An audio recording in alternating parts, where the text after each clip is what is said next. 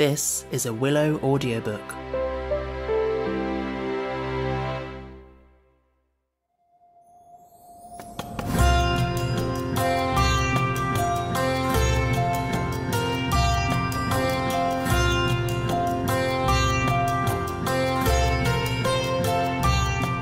A Little Princess by Frances Hodgson Burnett.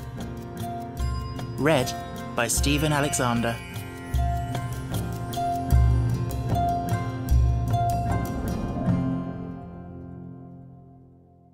Chapter 1 Sara Once, on a dark winter's day, when the yellow fog hung so thick and heavy in the streets of London that the lamps were lighted and the shop windows blazed with gas as they do at night, an odd looking little girl sat in a cab with her father and was driven rather slowly through the big thoroughfares.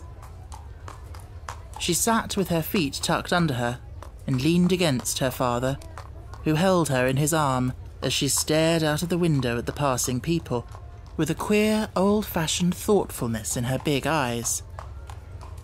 She was such a little girl that one did not expect to see such a look on her small face. It would have been an old look for a child of twelve, and Sara Crewe was only seven. The fact was, however, that she was always dreaming and thinking odd things, and could not herself remember any time when she had not been thinking things about grown up people and the world they belonged to. She felt as if she had lived a long, long time. At this moment, she was remembering the voyage she had just made from Bombay with her father, Captain Crewe.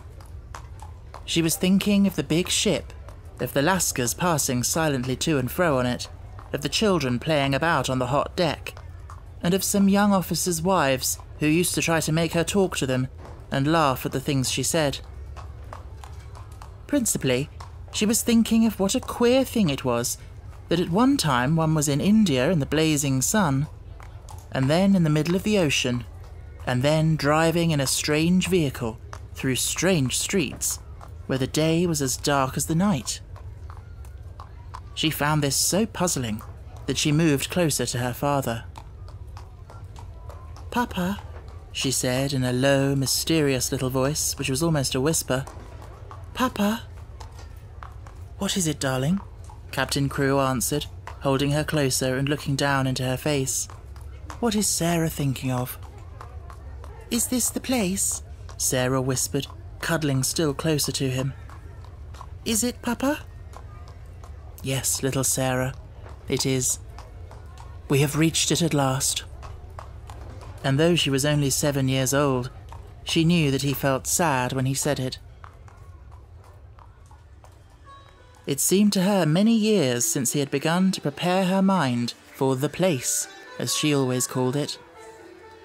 Her mother had died when she was born, so she had never known or missed her. Her young, handsome, rich, petting father seemed to be the only relation she had in the world. They had always played together and been fond of each other. She only knew he was rich because she had heard people say so when they thought she was not listening. And she had also heard them say that when she grew up, she would be rich too. She did not know all that being rich meant. She had always lived in a beautiful bungalow and had been used to seeing many servants who made salams to her and called her Missy Sahib and gave her her own way in everything. She had had toys and pets and an ayah who worshipped her, and she had gradually learned that people who were rich had these things. That, however, was all she knew about it. During her short life, only one thing had troubled her, and that thing was the place she was to be taken to some day. The climate of India was very bad for children, and as soon as possible they were sent away from it, generally to England and to school. She had seen other children go away, and had heard their fathers and mothers talk about the letters they received from them. She had known that she would be obliged to go also, and though sometimes her father's stories of the voyage and the new country had attracted her, she had been troubled by the thought that he could not stay with her. Couldn't you go to that place with me, Papa? She had asked when she was five years old. couldn't you go to school too? I would help you with your lessons. But you will not have to stay for a very long time, little Sara, he had always said. You will go to a nice house where there will be a lot of little girls, and you will play together, and I will send you plenty of books, and you will grow so fast that it will seem scarcely a year before you are big enough and clever enough to come back and take care of Papa. She had liked to think of that, to keep the house for her father, to ride with him and sit at the head of his table when he had dinner parties, to talk to him and read his books. That would be what she would like most in the world. And if one must go away to the place in England to attain it, she must make up her mind to go. She did not care very much for other little girls, but if she had plenty of books, she could console herself. She liked books more than anything else, and was, in fact, always inventing stories of beautiful things and telling them to herself. Sometimes she had told them to her father, and he had liked them as much as she did. Well, Papa, she said softly, if we are here, I suppose we must be resigned. He laughed at her old fashioned speech and kissed her. He was really not at all resigned himself, though he knew he must keep that a secret. His quaint little Sara had been a great companion to him, and he felt he should be a lonely fellow when, on his return to India, he went into his bungalow, knowing he need not expect to see the small figure in its white frock come forward to meet him. So he held her very closely in his arms as the cab rolled into the big, dull square in which stood the house which was their destination. It was a big, dull brick house, exactly like all the others in its row, but that on the front door there shone a brass plate on which was engraved in black letters Miss Minchin, Select Seminary for Young Ladies. Here we are, Sara, said Captain Crewe, making his voice sound as cheerful as possible. Then he lifted her out of the cab, and they mounted the steps and rang the bell. Sara often thought afterward that the house was somehow exactly like Miss Minchin. It was respectable and well furnished, but everything in it was ugly, and the very armchairs seemed to have hard bones in them. In the hall, everything was hard and polished. Even the red cheeks of the moon face on the tall clock in the corner had a severe, varnished look. The drawing room into which they were ushered was covered by a carpet with a square pattern upon it. The chairs were square, and a heavy marble timepiece stood upon the heavy marble mantel. As she sat down in one of the stiff mahogany chairs, Sara cast one of her quick looks about her. I don't like it, Papa, she said. But then I dare say soldiers, even brave ones, don't really like going into battle. Captain Crewe laughed outright at this. He was young and full of fun, and he never tired of hearing Sara's queer speeches. Oh, little Sara, he said, what shall I do when I have no one to say solemn things to me? No one else is as solemn as you are. But why do solemn things make you laugh so? Inquired Sara. Because you are such fun when you say them, he answered, laughing still more. And then suddenly he swept her into his arms and kissed her very hard, stopping laughing all at once, and looking almost as if tears had come into his eyes. It was just then that Miss Minchin entered the room. She was very like her house, Sara felt. Tall and dull, and respectable and ugly. She had large, cold, fishy eyes, and a large, cold, fishy smile. It spread itself into a very large smile when she saw Sara and Captain Crewe. She had heard a great many desirable things of the young soldier from the lady who had recommended her school to him. Among other things, she had heard that he was a rich father who was willing to spend a great deal of money on his little daughter. It will be a great privilege to have charge of such a beautiful and promising child, Captain Crewe, she said, taking Sara's hand and stroking it. Lady Meredith has told me of her unusual cleverness. A clever child is a great treasure in an establishment like mine. Sarah stood quietly, with her eyes fixed upon Miss Minchin's face. She was thinking something odd, as usual. Why does she say I am a beautiful child? She was thinking. I am not beautiful at all. Colonel Grange's little girl, Isabel, is beautiful. She has dimples and rose coloured cheeks and long hair the colour of gold. I have short black hair and green eyes, besides which, I am a thin child and not fair in the least. I am one of the ugliest children I ever saw.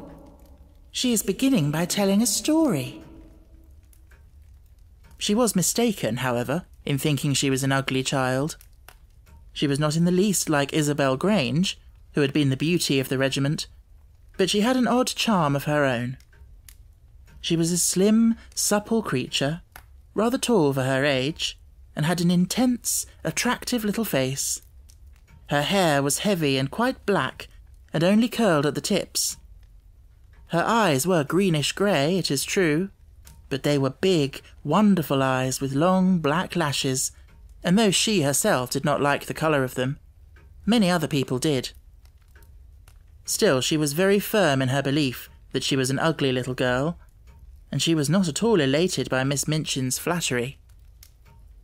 I should be telling a story if I said I was beautiful, she thought. And I should know I was telling a story. I believe I am as ugly as she is, in my way.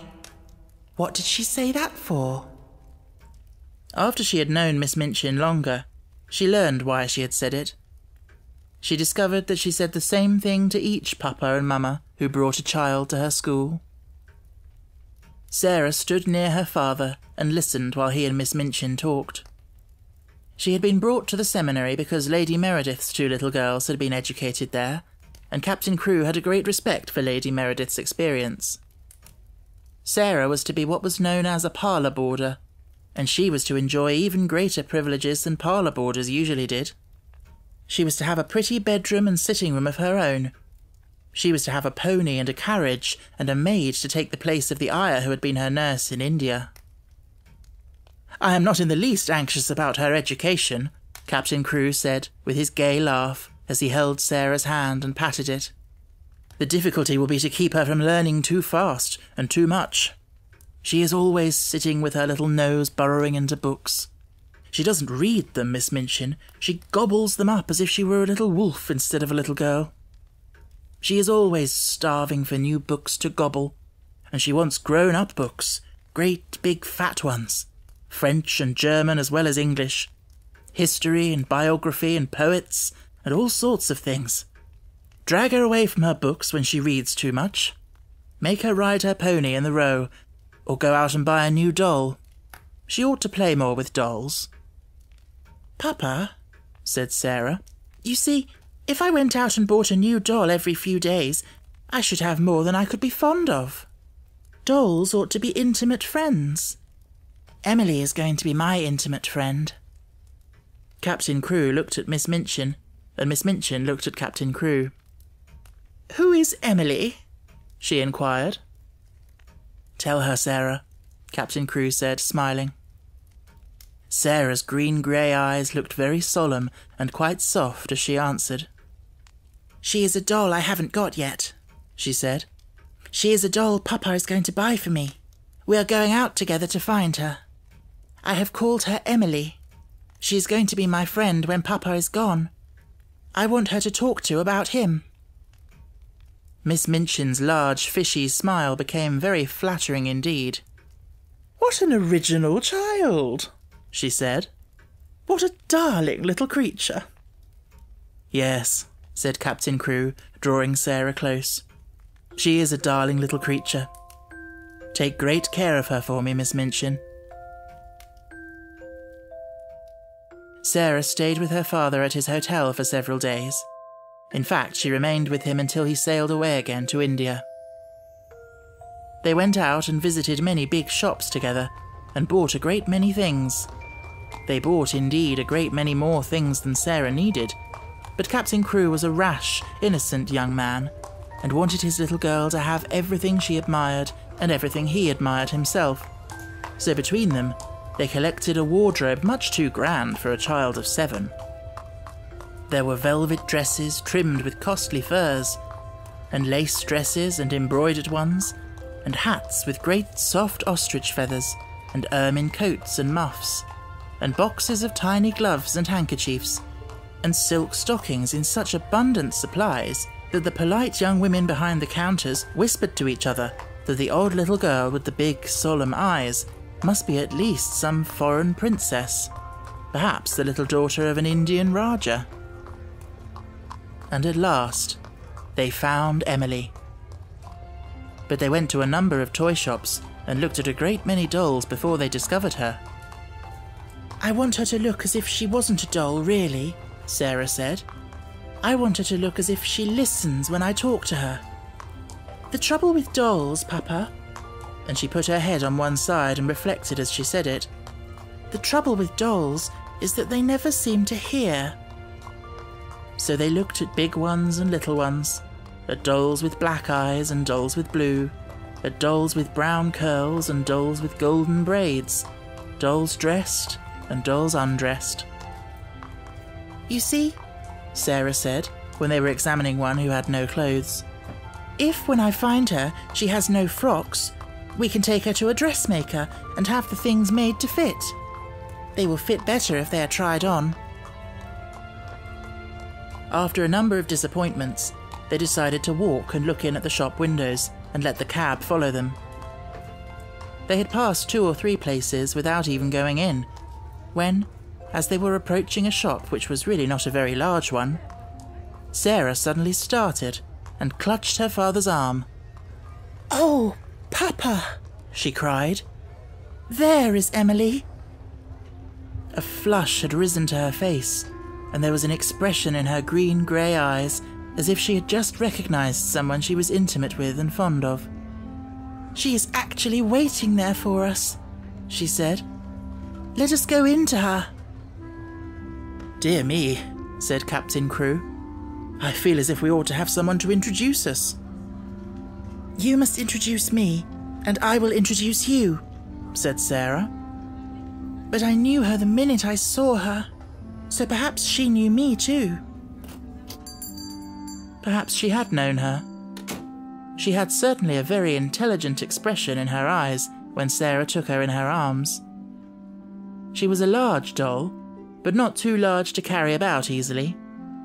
She had naturally curling golden brown hair, which hung like a mantle about her, and her eyes were a deep, clear grey blue, with soft, thick eyelashes, which were real eyelashes and not mere painted lines. Of course, said Sara, looking into her face as she held her on her knee. Of course, Papa, this is Emily. So Emily was bought, and actually taken to a children's outfitter's shop and measured for a wardrobe as grand as Sara's own. She had lace frocks too, and velveted muslin ones, and hats and coats and beautiful lace trimmed underclothes, and gloves and handkerchiefs and furs. I should like her always to look as if she was a child with a good mother, said Sara. I'm her mother, though I'm going to make a companion of her. Captain Crewe would really have enjoyed the shopping tremendously, but that a sad thought kept tugging at his heart. This all meant that he was going to be separated from his beloved, quaint little comrade. He got out of his bed in the middle of that night and went and stood looking down at Sara, who lay asleep with Emily in her arms. Her black hair was spread out on the pillow, and Emily's golden brown hair mingled with it both of them had lace ruffled nightgowns, and both had long eyelashes which lay and curled up on their cheeks. Emily looked so like a real child that Captain Crewe felt glad she was there. He drew a big sigh and pulled his moustache with a boyish expression. Hey ho, little Sara, he said to himself. I don't believe you know how much your daddy will miss you. The next day, he took her to Miss Minchin's and left her there. He was to sail away the next morning. He explained to Miss Minchin that his solicitors, Messrs. Barrow and Skipworth, had charge of his affairs in England and would give her any advice she wanted, and that they would pay the bills she sent in for Sara's expenses. He would write to Sara twice a week, and she was to be given every pleasure she asked for. She is a sensible little thing, and she never wants anything it isn't safe to give her, he said. Then he went with Sara into her little sitting room, and they bade each other goodbye.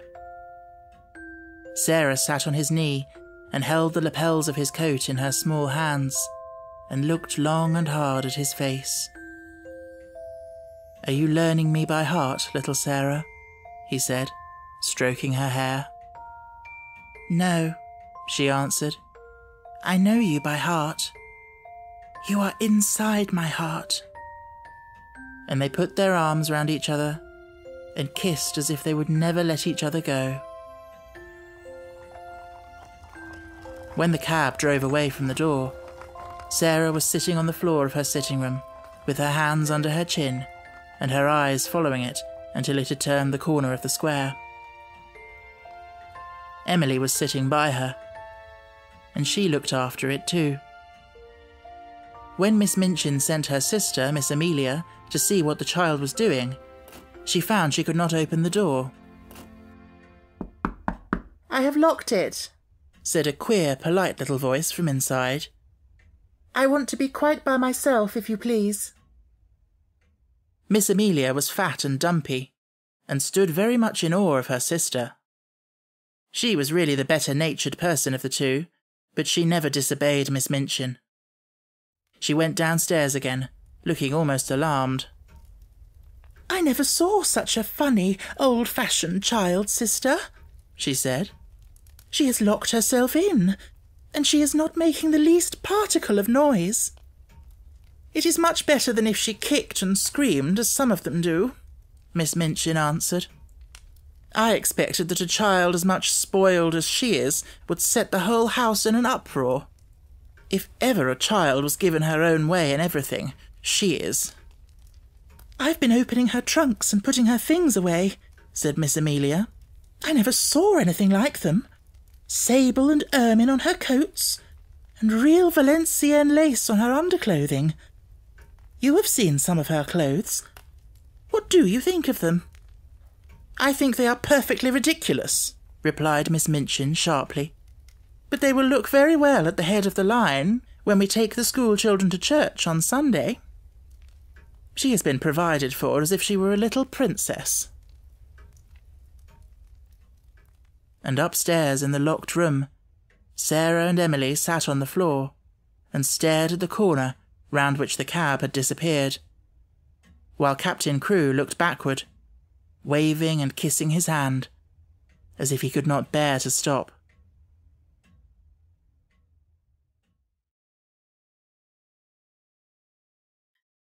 Chapter 2 A French Lesson when Sara entered the schoolroom the next morning, everybody looked at her with wide, interested eyes. By that time, every pupil, from Lavinia Herbert, who was nearly thirteen and felt quite grown up, to Lottie Legh, who was only just four and the baby of the school, had heard a great deal about her. They knew very certainly that she was Miss Minchin's show pupil and was considered a credit to the establishment. One or two of them had even caught a glimpse of her French maid, Mariette, who had arrived the evening before. Lavinia had managed to pass Sara's room when the door was open, and had seen Mariette opening a box which had arrived late from some shop. It was full of petticoats with lace frills on them. Frills and frills, she whispered to her friend Jessie as she bent over her geography. I saw her shaking them out. I heard Miss Minchin say to Miss Amelia that her clothes were so grand that they were ridiculous for a child. My mamma says that children should be dressed simply. She's got one of those petticoats on now. I saw it when she sat down. She has silk stockings on, whispered Jessie, bending over her geography also. And what little feet! I never saw such little feet. Oh, sniffed Lavinia spitefully. That is the way her slippers are made. My mamma says that even big feet can be made to look small if you have a clever shoemaker. I don't think she's pretty at all. Her eyes are such a queer colour. She isn't as pretty as other people are, said Jessie, stealing a glance across the room. But she makes you want to look at her again. She has tremendously long eyelashes, but her eyes are almost green. Sara was sitting quietly in her seat, waiting to be told what to do. She had been placed near Miss Minchin's desk.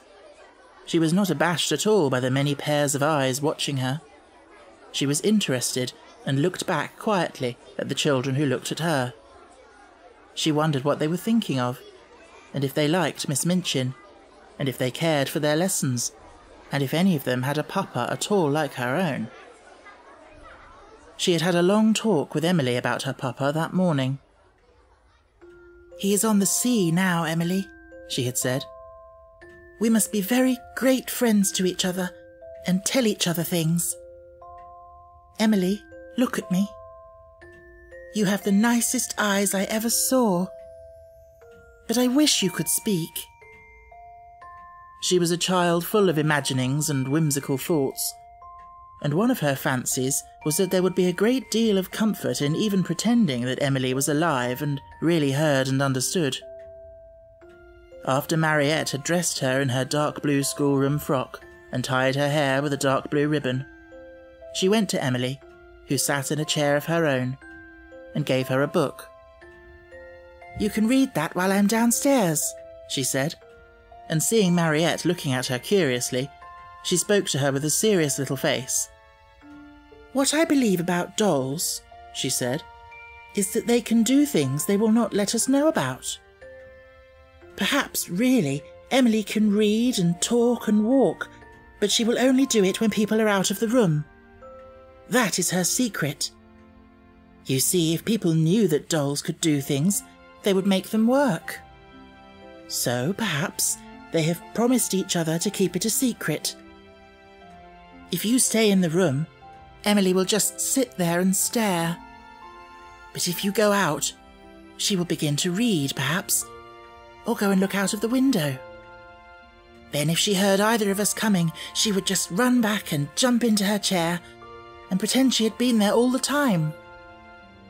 Comme elle drôle, Mariette said to herself, and when she went downstairs, she told the head housemaid about it but she had already begun to like this odd little girl who had such an intelligent small face and such perfect manners. She had taken care of children before who were not so polite. Sara was a very fine little person and had a gentle, appreciative way of saying, If you please, Mariette. Thank you, Mariette. Which was very charming. Mariette told the head housemaid that she thanked her as if she was thanking a lady. Elle a l'air d'une princesse, cette petite, she said. Indeed, she was very much pleased with her new little mistress, and liked her place greatly.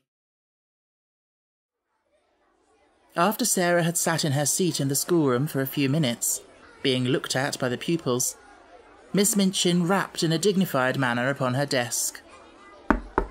Young ladies, she said, I wish to introduce you to your new companion.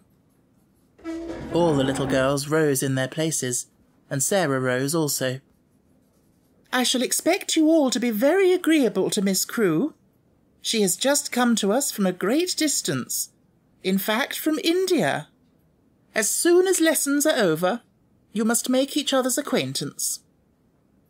The pupils bowed ceremoniously, and Sara made a little curtsy, and then they sat down and looked at each other again. Sara, said Miss Minchin in her schoolroom manner. Come here to me.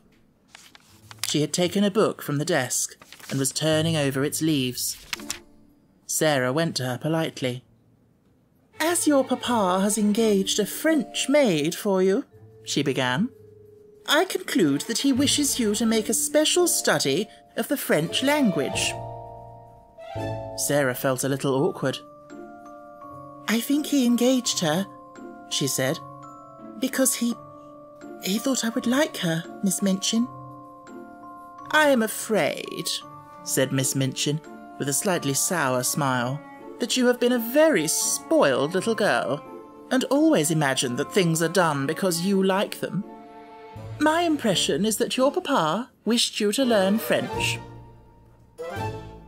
If Sara had been older, or less punctilious about being quite polite to people, she could have explained herself in a very few words. But as it was, she felt a flush rising on her cheeks. Miss Minchin was a very severe and imposing person, and she seemed so absolutely sure that Sara knew nothing whatever of French that she felt as if it would be almost rude to correct her. The truth was that Sara could not remember the time when she had not seemed to know French. Her father had often spoken it to her when she had been a baby. Her mother had been a Frenchwoman, and Captain Crewe had loved her language, so it happened that Sara had always heard and been familiar with it. I. I have never really learned French, but. but. she began, trying shyly to make herself clear. One of Miss Minchin's chief secret annoyances was that she did not speak French herself, and was desirous of concealing the irritating fact. She therefore had no intention of discussing the matter and laying herself open to innocent questioning by a new little pupil. That is enough, she said with polite tartness. If you have not learned, you must begin at once. The French master, Monsieur Dufarge, will be here in a few minutes. Take this book and look at it until he arrives. Sara's cheeks felt warm. She went back to her seat and opened the book. She looked at the first page with a grave face. She knew it would be rude to smile, and she was very determined not to be rude. But it was very odd to find herself expected to study a page which told her that le père meant the father, and la mère meant the mother. Miss Minchin glanced towards her scrutinizingly. You look rather cross, Sara, she said. I am sorry you do not like the idea of learning French. I am very fond of it, answered Sara, thinking she would try again. But you must not say but when you are told to do things, said Miss Minchin. Look at your book again. And Sara did so, and did not smile, even when she found that le fils meant the son, and le frère meant the brother. When Monsieur Dufarge comes, she thought, I can make him understand. Monsieur Dufarge arrived very shortly afterward. He was a very nice, intelligent, middle-aged Frenchman, and he looked interested when his eyes fell upon Sara, trying politely to seem absorbed in her little book of phrases. Is this a new pupil for me, madame? he said to Miss Minchin. I hope that is my good fortune. Her papa, Captain Crewe, is very anxious that she should begin the language, but I am afraid she has a childish prejudice against it. She does not seem to wish to learn, said Miss Minchin. I am sorry of that, mademoiselle, he said kindly to Sara. Perhaps, when we begin to study together, I may show you that it is a charming tongue. Little Sara rose in her seat. She was beginning to feel rather desperate, as if she were almost in disgrace. She looked up into Monsieur Dufarge's face with her big green-grey eyes and they were quite innocently appealing. She knew that he would understand as soon as she spoke. She began to explain quite simply, in pretty and fluent French. Madame had not understood. She had not learned French exactly, not out of books. But her papa and other people had always spoken it to her, and she had read it and written it as she had read and written English. Her papa loved it, and she loved it because he did. Her dear mamma, who had died when she was born, had been French. She would be glad to learn anything Monsieur would teach her, but what she had tried to explain to Madame was that she already knew the words in this book. And she held out the little book of phrases. When she began to speak, Miss Minchin started quite violently and sat staring at her over her eyeglasses, almost indignantly until she had finished. Monsieur Dufarge began to smile, and his smile was one of great pleasure. To hear this pretty childish voice speaking his own language so simply and charmingly made him feel almost as if he were in his native land, which in dark, foggy days in London sometimes seemed worlds away. When she had finished, he took the phrase book from her, with a look almost affectionate, but he spoke to Miss Minchin. Ah, madame, he said, there is not much I can teach her. She has not learned French. She is French. Her accent is exquisite. You ought to have told me, exclaimed Miss Minchin, much mortified, turning to Sara. I. I tried, said Sara. I. I suppose I did not begin right. Miss Minchin knew she had tried, and that it had not been her fault that she was not allowed to explain. And when she saw that the pupils had been listening, and that Lavinia and Jessie were giggling behind their French grammars, she felt infuriated. Silence, young ladies, she said severely, rapping upon the desk. Silence at once. And she began, from that minute, to feel rather a grudge against her show pupil.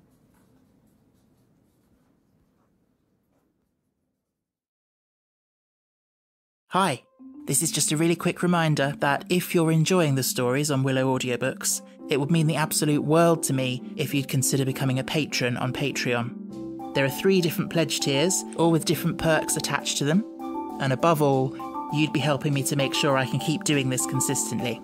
So please head on over to patreon.com slash willow audiobooks and check out how you can get involved. Alternatively, I also really appreciate ratings and reviews left on iTunes or wherever you happen to get your podcasts. So if you haven't done that, please do. Thank you so much. Chapter 3 Ermengarde On that first morning, when Sara sat at Miss Minchin's side, aware that the whole schoolroom was devoting itself to observing her, she had noticed very soon one little girl, about her own age, who looked at her very hard with a pair of light, rather dull blue eyes. She was a child who did not look as if she were in the least clever, but she had a good naturedly pouting mouth.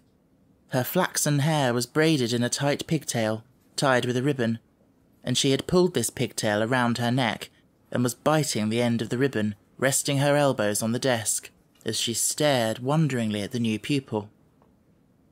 When Monsieur Dufarge began to speak to Sara, she looked a little frightened, and when Sara stepped forward and, looking at him with the innocent, appealing eyes, answered him without any warning in French, the little girl gave a startled jump and grew quite red in her awed amazement.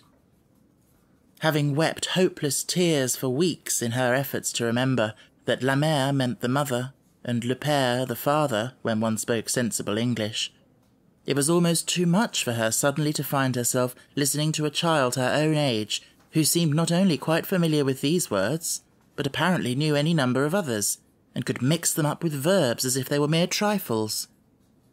She stared so hard and bit the ribbon on her pigtail so fast that she attracted the attention of Miss Minchin, who, feeling extremely cross at the moment, immediately pounced upon her. Miss St. John, she exclaimed severely, what do you mean by such conduct?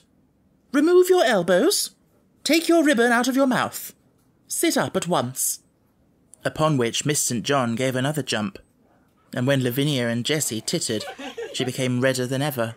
So red, indeed, that she almost looked as if tears were coming into her poor, dull, childish eyes.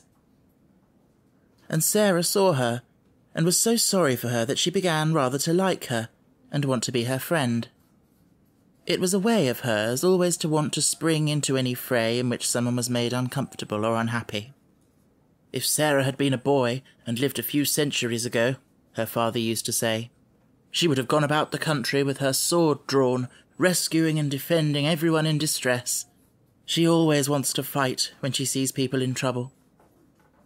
So she took rather a fancy to slow little Miss St. John, and kept glancing toward her through the morning she saw that lessons were no easy matter to her, and that there was no danger of her ever being spoiled by being treated as a show pupil. Her French lesson was a pathetic thing. Her pronunciation made even Monsieur Dufarge smile in spite of himself, and Lavinia and Jessie and the more fortunate girls either giggled or looked at her in wondering disdain. But Sara did not laugh. She tried to look as if she did not hear when Miss St. John called Le Bon Pain, Li Bon Pang. She had a fine, hot little temper of her own, and it made her feel rather savage when she heard the titters and saw the poor, stupid, distressed child's face. It isn't funny, really, she said between her teeth as she bent over her book. They ought not to laugh. When lessons were over and the pupils gathered together in groups to talk, Sara looked for Miss St. John, and finding her bundled rather disconsolately in a window seat, she walked over to her and spoke. She only said the kind of thing little girls always say to each other by way of beginning an acquaintance, but there was something friendly about Sara, and people always felt it. What is your name? she said. To explain Miss St. John's amazement, one must recall that a new pupil is for a short time a somewhat uncertain thing, and of this new pupil the entire school had talked the night before until it fell asleep, quite exhausted by excitement and contradictory stories. A new pupil with a carriage and a pony and a maid, and a voyage from India to discuss, was not an ordinary acquaintance. My name's Ermengarde St. John, she answered. Mine is Sara Crewe, said Sara.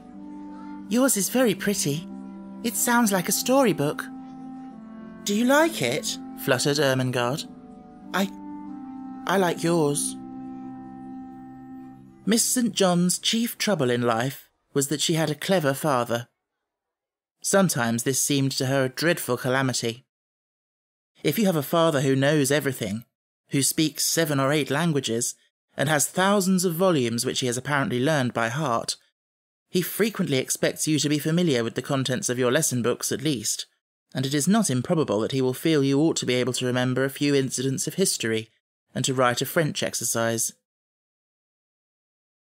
Ermengarde was a severe trial to Mr. St. John. He could not understand how a child of his could be a notably and unmistakably dull creature who never shone in anything. Good heavens, he had said more than once as he stared at her. There are times when I think she is as stupid as her Aunt Eliza. If her Aunt Eliza had been slow to learn and quick to forget a thing entirely when she had learned it, Ermengarde was strikingly like her. She was the monumental dunce of the school, and it could not be denied. She must be made to learn, her father said to Miss Minchin. Consequently, Ermengarde spent the greater part of her life in disgrace or in tears. She learned things and forgot them, or if she remembered them, she did not understand them. So it was natural that, having made Sara's acquaintance, she should sit and stare at her with profound admiration. You can speak French, can't you? she said respectfully. Sara got onto the window seat, which was a big, deep one, and, tucking up her feet, sat with her hands clasped round her knees. I can speak it because I have heard it all my life, she answered. You could speak it if you had always heard it. Oh, no, I couldn't, said Ermengarde. I never could speak it. Why? inquired Sara curiously. Ermengarde shook her head so that the pigtail wobbled. You heard me just now, she said. I'm always like that. I can't say the words. They're so queer. She paused a moment, and then added with a touch of awe in her voice, You're clever, aren't you? Sara looked out of the window into the dingy square where the sparrows were hopping and twittering on the wet iron railings and the sooty branches of the trees. She reflected a few moments. She had heard it said very often that she was clever, and she wondered if she was, and if she was, how it had happened. I don't know, she said. I can't tell. Then, seeing a mournful look on the round, chubby face, she gave a little laugh and changed the subject. Would you like to see Emily? She inquired. Who is Emily? Ermengarde asked, just as Miss Minchin had done. Come up to my room and see, said Sara, holding out her hand. They jumped down from the window seat together and went upstairs. Is it true? Ermengarde whispered as they went through the hall. Is it true that you have a playroom all to yourself? Yes, Sara answered. Papa asked Miss Minchin to let me have one because.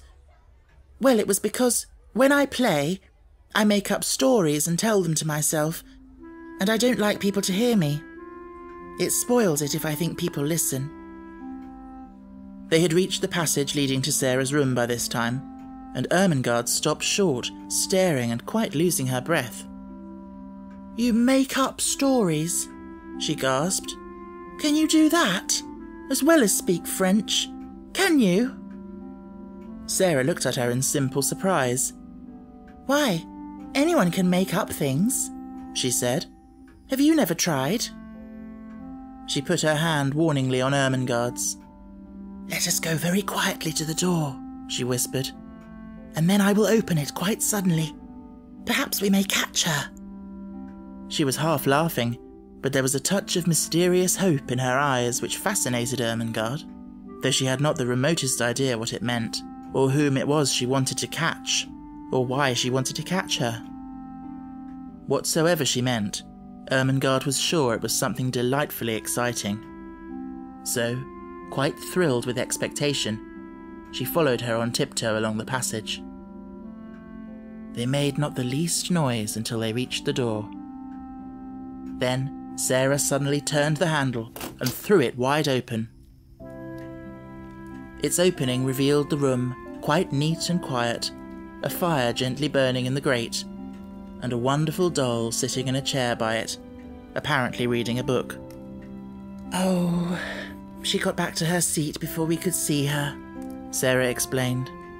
Of course, they always do. They're as quick as lightning. Ermengarde looked from her to the doll and back again. Can she walk? she asked breathlessly. Yes, answered Sara. At least I believe she can. At least I pretend I believe she can. And that makes it seem as if it were true. Have you never pretended things? No, said Ermengarde. Never. I. Tell me about it. She was so bewitched by this odd new companion that she actually stared at Sara instead of at Emily, notwithstanding that Emily was the most attractive doll person she had ever seen. Let us sit down, said Sara, and I will tell you. It's so easy that when you begin, you can't stop. You just go on and on doing it always. And it's beautiful. Emily, you must listen. This is Ermengarde St. John. Ermengarde, this is Emily. Would you like to hold her? Oh, may I? said Ermengarde. May I really? She is beautiful. And Emily was put into her arms. Never in her dull, short life had Miss St. John dreamed of such an hour as the one she spent with the queer new pupil before they heard the lunch bell ring and were obliged to go downstairs. Sara sat upon the hearthrug and told her strange things. She sat rather huddled up, and her green eyes shone and her cheeks flushed. She told stories of the voyage and stories of India. But what fascinated Ermengarde the most was her fancy about the dolls who walked and talked, and who could do anything they chose when the human beings were out of the room, but who must keep their powers a secret and so flew back to their places like lightning when people returned to the room. We couldn't do it, said Sara seriously. You see, it's a kind of magic. Once, when she was relating the story of the search for Emily, Ermengarde saw her face suddenly change. A cloud seemed to pass over it and put out the light in her shining eyes. She drew her breath in so sharply that it made a funny, sad little sound. And then she shut her lips and held them tightly closed, as if she was determined either to do or not to do something. Ermengarde had an idea that if she had been like any other little girl, she might have suddenly burst out sobbing and crying. But she did not. Have you a. a pain? Ermengarde ventured. Yes, Sara answered, after a moment's silence. But it is not in my body. Then she added something in a low voice, which she tried to keep quite steady, and it was this. Do you love your father more than anything else in all the whole world? Ermengarde's mouth fell open a little. She knew that it would be far from behaving like a respectable child at a select seminary to say that it had never occurred to you that you could love your father, that you would do anything desperate to avoid being left alone in his society for ten minutes. She was indeed greatly embarrassed. I. I scarcely ever see him, she stammered. He is always in the library, reading things. I love mine more than all the world ten times over, Sara said. That is what my pain is. He has gone away. She put her head quietly down on her little huddled up knees and sat very still for a few minutes. She's going to cry out loud, thought Ermengarde fearfully. But she did not. Her short black locks tumbled about her ears, and she sat still. Then she spoke without lifting her head. I promised him I would bear it, she said and I will. You have to bear things. Think what soldiers bear. Papa is a soldier. If there was a war, he would have to bear marching and thirstiness and perhaps deep wounds. And he would never say a word, not one word. Ermengarde could only gaze at her, but she felt that she was beginning to adore her. She was so wonderful and different from anyone else. Presently, she lifted her face and shook back her black locks with a queer little smile. If I go on talking and talking, she said, and telling you things about pretending, I shall bear it better. You don't forget, but you bear it better. Ermengarde did not know why a lump came into her throat and her eyes felt as if tears were in them. Lavinia and Jessie are best friends, she said rather huskily. I wish we could be best friends. Would you have me for yours? You're clever, and I'm the stupidest child in the school. But I. Oh, I do so like you. I'm glad of that, said Sara. It makes you thankful when you are liked. Yes, we will be friends. And I'll tell you what, a sudden gleam lighting her face, I can help you with your French lessons.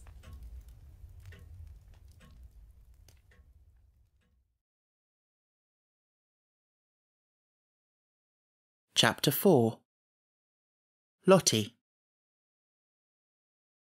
If Sara had been a different kind of child, the life she led at Miss Minchin's select seminary for the next few years would not have been at all good for her. She was treated more as if she were a distinguished guest at the establishment than as if she were a mere little girl. If she had been a self opinionated, domineering child, she might have become disagreeable enough to be unbearable through being so much indulged and flattered. If she had been an indolent child, she would have learned nothing. Privately, Miss Minchin disliked her, but she was far too worldly a woman to do or say anything which might make such a desirable pupil wish to leave her school. She knew quite well that if Sara wrote to her papa to tell him she was uncomfortable or unhappy, Captain Crewe would remove her at once. Miss Minchin's opinion was that if a child were continually praised and never forbidden to do what she liked, she would be sure to be fond of the place where she was so treated. Accordingly, Sara was praised for her quickness at her lessons, for her good manners, for her amiability to her fellow pupils, for her generosity if she gave sixpence to a beggar out of her full little purse. The simplest thing she did was treated as if it were a virtue, and if she had not had a disposition and a clever little brain, she might have been a very self satisfied young person.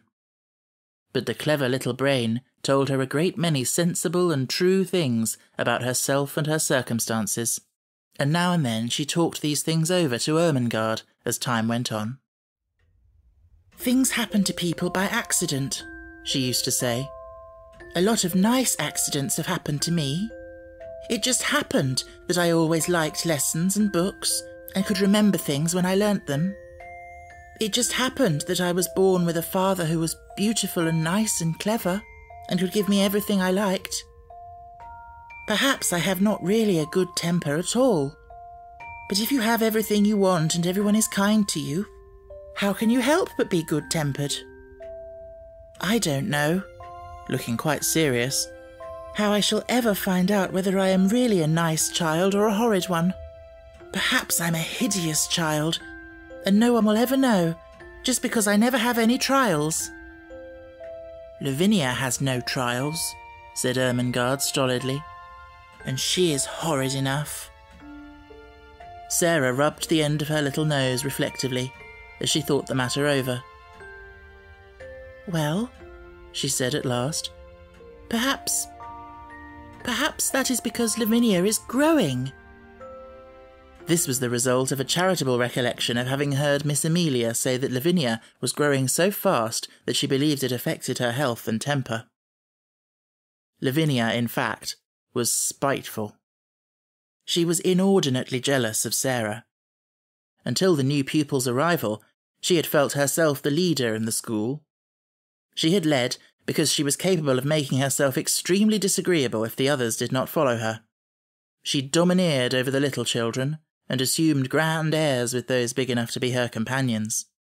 She was rather pretty, and she had been the best dressed pupil in the procession when the select seminary walked out two by two, until Sara's velvet coats and sable muffs appeared, combined with drooping ostrich feathers, and were led by Miss Minchin at the head of the line. This, at the beginning, had been bitter enough, but as time went on, it became apparent that Sara was a leader too, and not because she could make herself disagreeable, but because she never did. There's one thing about Sara Crewe, Jessie had enraged her best friend by saying honestly. She's never grand about herself the least bit, and you know she might be, Lavvy. I believe I couldn't help being, just a little, if I had so many fine things and was made such a fuss over. It's disgusting the way Miss Minchin shows her off when parents come.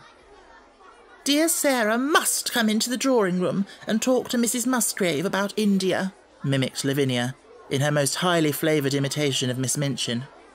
Dear Sara must speak French to Lady Pitkin. Her accent is so perfect.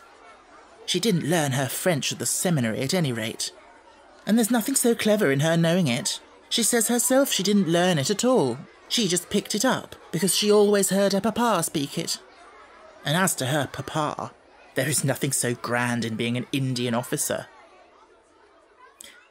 It was quite true that Sara was never grand. She was a friendly little soul, and shared her privileges and belongings with a free hand. The little ones, who were accustomed to being disdained and ordered out of the way by mature ladies aged ten and twelve, were never made to cry by this most envied of them all. She was a motherly young person, and when people fell down and scraped their knees, she ran and helped them up and patted them, or found in her pocket a bonbon or some other article of a soothing nature. She never pushed them out of her way, or alluded to their years as a humiliation and a blot upon their small characters.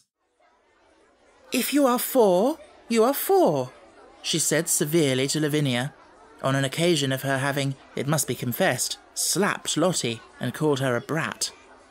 But you will be five next year, and six the year after that. And, opening large, convicting eyes, it takes sixteen years to make you twenty. Dear me, said Lavinia, how we can calculate. In fact, it was not to be denied that sixteen and four made twenty. and twenty was an age the most daring were scarcely bold enough to dream of. So the younger children adored Sara. More than once she had been known to have a tea party made up of these despised ones in her own room, and Emily had been played with, and Emily's own tea service used, the one with cups which held quite a lot of much sweetened weak tea and had blue flowers on them. No one had seen such a very real doll's tea set before. From that afternoon, Sara was regarded as a goddess and a queen by the entire alphabet class. Lottie Legh worshipped her to such an extent that if Sara had not been a motherly person, she would have found her tiresome. Lottie had been sent to school by a rather flighty young papa who could not imagine what else to do with her. Her young mother had died, and as the child had been treated like a favourite doll, or a very spoiled pet monkey or lapdog ever since the first hour of her life, she was a very appalling little creature. When she wanted anything or did not want anything, she wept and howled, and as she always wanted the things she could not have, and did not want the things that were best for her, her shrill little voice was usually to be heard uplifted in wails in one part of the house or another. Her strongest weapon was that in some mysterious way she had found out that a very small girl who had lost her mother was a person who ought to be pitied and made much of. She had probably heard some grown up people talking her over in the early days after her mother's death, so it became her habit to make great use of this knowledge. The first time Sara took her in charge was one morning when, on passing a sitting room, she heard both Miss Minchin and Miss Amelia trying to suppress the angry wails of some child who evidently refused to be silenced. She refused so strenuously indeed that Miss Minchin was obliged to almost shout in a stately and severe manner to make herself heard. What is she crying for? She almost yelled. Sara heard. I haven't got any mamma. Oh, Lottie! screamed Miss Amelia. Do stop, darling. Don't cry, please don't. Lottie howled tempestuously. Haven't got any mamma. She ought to be whipped, Miss Minchin proclaimed. You shall be whipped, you naughty child. Lottie wailed more loudly than ever. Miss Amelia began to cry. Miss Minchin's voice rose until it almost thundered. Then suddenly she sprang up from her chair in impotent indignation and flounced out of the room, leaving Miss Amelia to arrange the matter. Sara had paused in the hall, wondering if she ought to go into the room, because she had recently begun a friendly acquaintance with Lottie and might be able to quiet her. When Miss Minchin came out and saw her, she looked rather annoyed. She realized that her voice, as heard from inside the room, could not have sounded either dignified or amiable. Oh, Sara, she exclaimed, endeavouring to produce a suitable smile. I stopped, explained Sara, because I knew it was Lottie, and I thought perhaps, just perhaps, I could make her be quiet. May I try, Miss Minchin? If you can, you're a clever child, answered Miss Minchin, drawing in her mouth sharply. Then, seeing that Sara looked slightly chilled by her asperity, she changed her manner. But you are clever in everything, she said in her approving way. I dare say you can manage her. Go in. And she left her. When Sara entered the room, Lottie was lying upon the floor, screaming and kicking her small fat legs violently. And Miss Amelia was bending over her in consternation and despair, looking quite red and damp with heat. Lottie had always found, when in her own nursery at home, that kicking and screaming would always be quieted by any means she insisted on. Poor plump Miss Amelia was trying first one method and then another. Poor darling, she said one moment. I know you haven't any mamma. Poor. Then, in quite another tone, If you don't stop, Lottie, I will shake you. Poor little angel. There. Oh, you wicked, bad bad, detestable child! I will smack you! I will! Sara went to them quietly. She did not know at all what she was going to do, but she had a vague inward conviction that it would be better not to say such different kinds of things quite so helplessly and excitedly. Miss Amelia, she said in a low voice, Miss Minchin says I may try to make her stop. May I? Miss Amelia turned and looked at her hopelessly. Oh, do you think you can? she gasped. I don't know whether I can, answered Sara, still in her half whisper, but I will try. Miss Amelia stumbled up from her knees with a heavy sigh, and Lottie's fat little legs kicked as hard as ever. If you will steal out of the room, said Sara, I will stay with her. Oh, Sara, almost whimpered Miss Amelia. We never had such a dreadful child before. I don't believe we can keep her. But she crept out of the room and was very much relieved to find an excuse for doing it. Sara stood by the howling, furious child for a few moments and looked down at her without saying anything. Then she sat down flat on the floor beside her and waited. Except for Lottie's angry screams, the room was quite quiet. This was a new state of affairs for little Miss Legh, who was accustomed when she screamed to hear other people protest and implore and command and coax by turns. To lie and kick and shriek and find the only person near you not seeming to mind in the least attracted her attention. She opened her tight shut streaming eyes to see who this person was, and it was only another little girl. But it was the one who owned Emily and all the nice things. And she was looking at her steadily and as if she was merely thinking. Having paused for a few seconds to find this out, Lottie thought she must begin again, but the quiet of the room and of Sara's odd, interested face made her first howl rather half-hearted. I haven't any mamma, she announced, but her voice was not so strong. Sara looked at her still more steadily, but with a sort of understanding in her eyes. Neither have I, she said. This was so unexpected that it was astounding. Lottie actually dropped her legs, gave a wriggle, and lay and stared. A new idea will stop a crying child when nothing else will.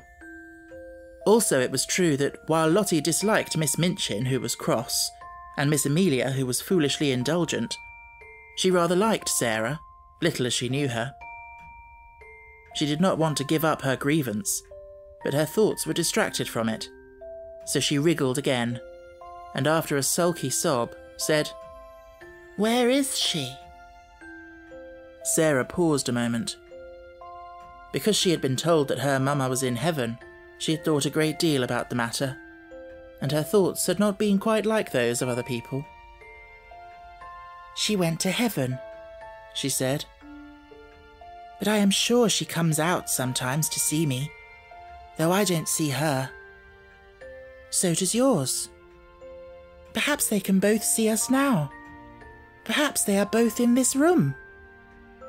Lottie sat bolt upright and looked about her. She was a pretty little curly headed creature, and her round eyes were like wet forget me nots. If her mamma had seen her during the last half hour, she might not have thought her the kind of child who ought to be related to an angel. Sara went on talking. Perhaps some people might think that what she said was rather like a fairy story, but it was all so real to her own imagination that Lottie began to listen in spite of herself. She had been told that her mamma had wings and a crown, and she had been shown pictures of ladies in beautiful white nightgowns who were said to be angels. But Sara seemed to be telling a real story about a lovely country where real people were. There are fields and fields of flowers, she said, forgetting herself as usual when she began, and talking rather as if she were in a dream fields and fields of lilies, and when the soft wind blows over them, it wafts the scent of them into the air. and everybody always breathes it, because the soft wind is always blowing.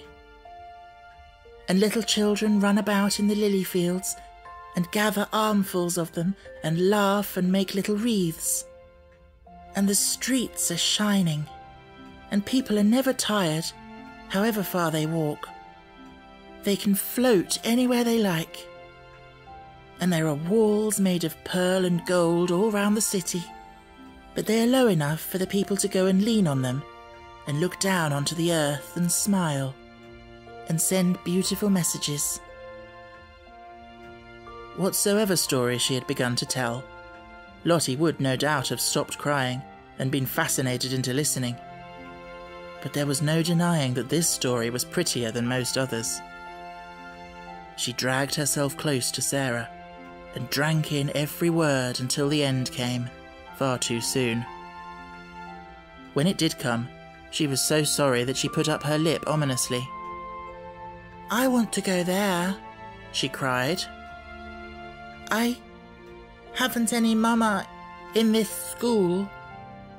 Sara saw the danger signal and came out of her dream.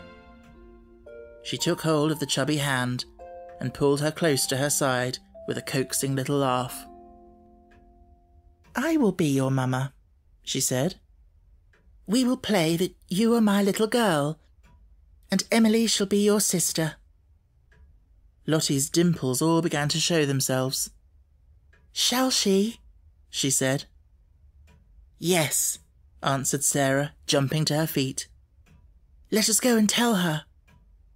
And then I will wash your face and brush your hair. To which Lottie agreed quite cheerfully, and trotted out of the room and upstairs with her, without seeming even to remember that the whole of the last hour's tragedy had been caused by the fact that she had refused to be washed and brushed for lunch, and Miss Minchin had been called in to use her majestic authority. And from that time, Sara was an adopted mother.